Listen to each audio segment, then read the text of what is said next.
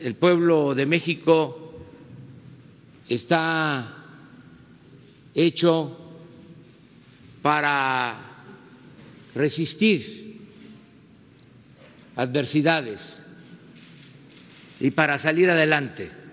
Voy yo al final de esta exposición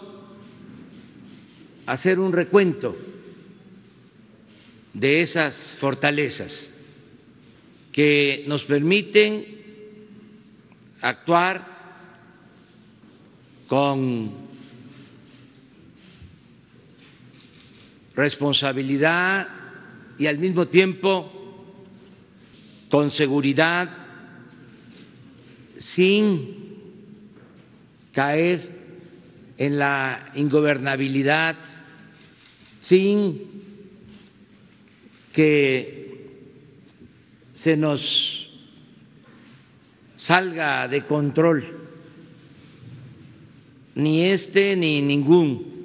problema que enfrentemos. Hay eh, un pueblo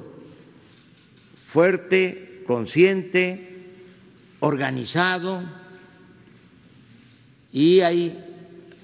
un gobierno